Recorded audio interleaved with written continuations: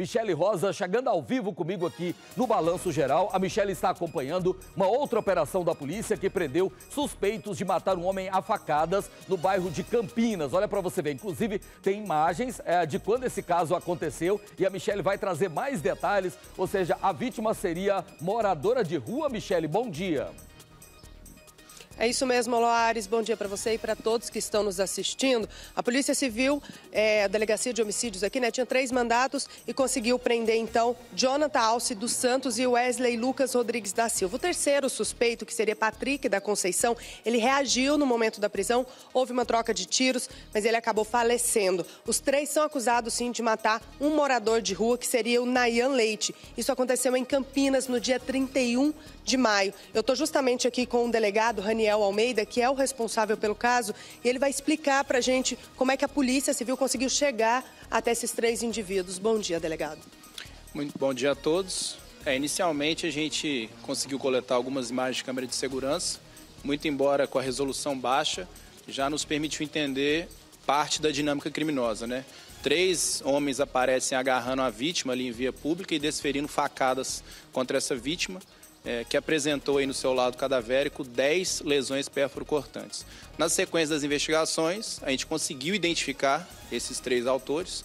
Todos eles se evadiram né, aqui da capital. Um deles, o Jonatas, preso em Campinas Sul. O outro preso em Planaltina de Goiás. E o terceiro, Patrick, acabou é, morrendo em confronto com o batalhão de Rotan. Agora, o Wesley, ele estava, inclusive, ele tinha uma tornezeleira eletrônica, é isso, delegado? Todos eles possuem uma ficha criminal muito longa, por crimes de furto, receptação, tráfico de drogas, roubo, tentativa e homicídio consumado.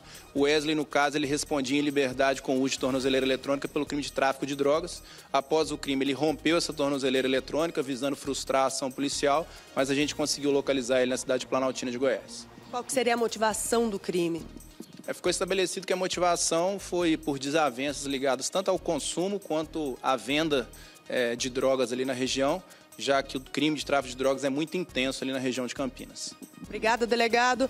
Oloares, uma outra curiosidade é que os três não tinham nem mais de 25 anos, né, delegado? Mais ou menos isso.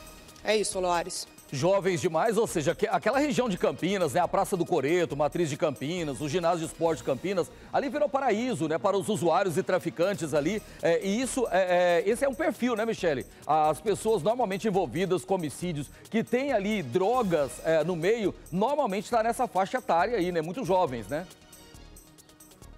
Exatamente isso. Vou até passar para o delegado, que essa é uma curiosidade que a gente pode conversar sobre isso. O Aloares ressaltou que ali nessa região de Campinas é normal a gente encontrar muitos jovens, mais ou menos nessa faixa etária, envolvidos com tráfico de drogas, delegado.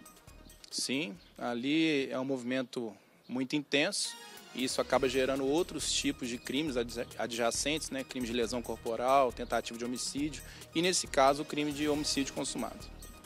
Obrigada, delegado. Oloares, é com você. Pois é, então fica aí, gente. É preciso buscar uma saída. A Praça do Coreto não tem turista, ninguém vai lá mais para tirar foto. Biblioteca ali de Campinas, aquela antiga ali próximo à Praça Joaquim Lúcio, ninguém vai mais. Ali porque virou um paraíso, virou um paraíso de viciados em drogas e é um problema sério, sério esse, que é um problema social que depois vira um problema de polícia. Obrigado aí, Michele. Obrigado, delegado. Parabéns aí pelo caso.